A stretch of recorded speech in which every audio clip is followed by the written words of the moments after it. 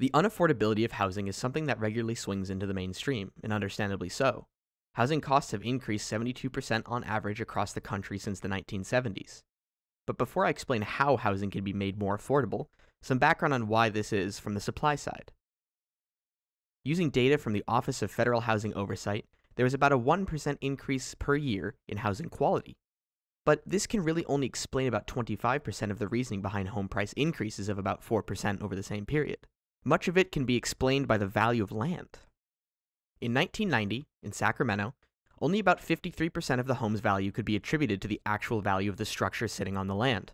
By 2000, there was 27 metro areas where the cost of the structure made up no more than 60% of the total value. Virtually all of California fits into this, with San Francisco being the absolute top, at the value of the structure being only about 30% of the house's value. This is a supply and demand issue. Census data shows that during the 1950s, just before the sharp rise in housing prices, Los Angeles increased the amount of housing by about 60%. By the 1990s, this was under 10%. And while Los Angeles may be an outlier, there is evidence to show that housing construction has gone down majorly across the United States. In the same span of time, the median rate, which started at 40%, fell to 14% by the 1990s. No longer is it the case that with surging housing prices comes new development. Why is that? Three fourths of zoned land in U.S. cities prohibit anything other than single family detached dwellings.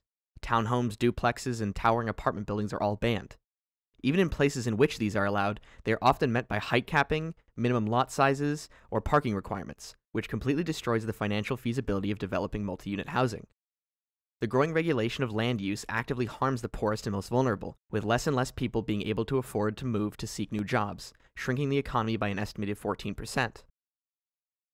The former chairman of the chief economic advisors to the White House has said, quote, While land use regulations sometimes serve reasonable and legitimate purposes, they can also give extra normal returns to entrenched interests at the expense of everyone else.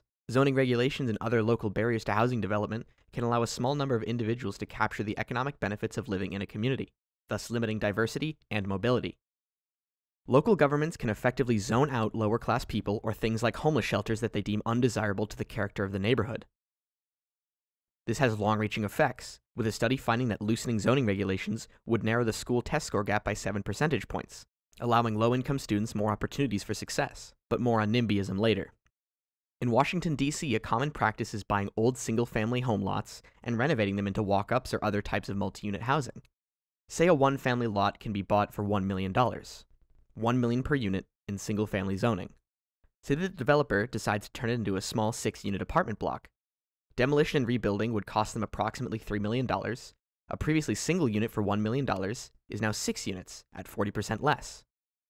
This process is demonized as gentrification, but doing this citywide in a place like San Jose would greatly reduce rent and unit prices across the city.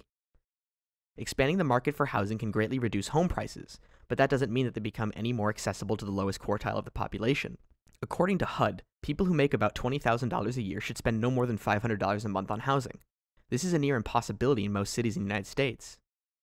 There are a few proposed ways of solving this, such as raising EITC payouts, increasing the minimum wage, or adding to the voucher program. Back to NIMBYism. It can be the fault of the local residency. The increasing power of residential activists to block large scale projects has only been exacerbated by the veritable media circus that is regularly run. Local governments become hell bent on disrupting new housing and, quote, turning normal projects into a PR disaster, which scares away investors. With court cases challenging regulation regularly being ruled in favor of restrictive zoning, courts whose judges share the same environmental attitudes as the middle class were more sympathetic to claims that local decision had failed to account for the environmental impacts than they had been to seemingly selfish claims that their home values were at risk. And obviously, this isn't the environment in the natural sense, but in the, quote, character of the neighborhood sense. And of course, you can be sympathetic. Even a metropolitan queer yuppie like me can see why. 68% of debt liabilities are in home mortgages, and nearly all non financial asset values are in the value of homes. But again, not necessarily in the actual value of the home, but the land it's sitting on. That's why, in conjunction with allowing supply increases in housing, it is critically important that municipalities implement a land value tax. Unlike your typical property tax, which charges based on the value of the land and the value of the buildings on it, the land value tax increases the taxation on land, but greatly reduces the tax on structures on the land. For example, if you own a random lot in a city like Los Angeles or New York City, Under the typical model of property taxes, you'd just be taxed on the land, because if you improve it, you have to pay more. So you can just sit on top of this veritable cash cow and wait for the value to appreciate. Under land value taxation, however, the tax would be roughly the same if the land was made into apartments, shops, or whatever else. In Clairton, Pennsylvania, the land value tax reduced the tax burden on owner occupied residences and multifamily units, while the vacant properties in the city helped triple the budget of the city government, completely inversing the tax burden from the residents to the speculators taking advantage of them. This can be used in the multi unit example as follows. It would incentivize the holders of single family dwellings to sell to developers who would develop them into units, and then the tax bill would be split equally among those six units rather than just the one. There is even evidence to suggest that land value taxes can decrease commute times, because as density increases, more people are able to live closer to work, not being forced out of the city entirely. There are numerous solutions to the issue, but at its core it is a supply and demand problem. There are, however, equitable ways to solve the housing crisis in the market. Unlike some would have you believe, the incredible cost of housing isn't a tautological consequence of the market's existence. It is a complex problem with no clear solution. But the deregulation of zoning and land value taxation is clearly one of the best ways we have.